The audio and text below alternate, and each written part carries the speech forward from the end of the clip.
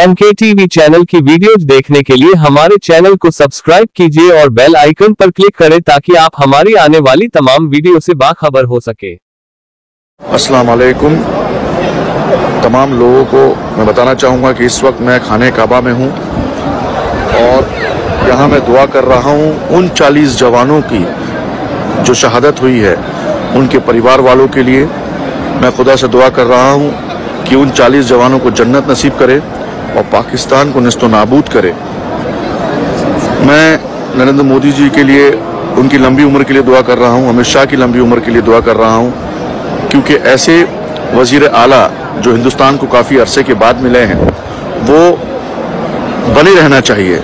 जिस तरह उन्होंने सिचुएशंस को हैंडल की है, जिस तरह हमारे एकता को बनाए रखा है, वो काबिल तारीफ़ है। और मैं ये तहे दिल से खुदा से दुआ करता हूँ कि आने वाले वक्त पे भी नरेंद्र मोदी जैसे वज़ीर अला हम लोगों के साथ हों।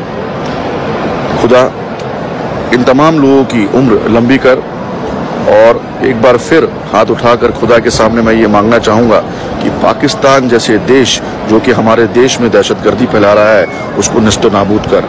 आमीन। सुम्मा आमीन।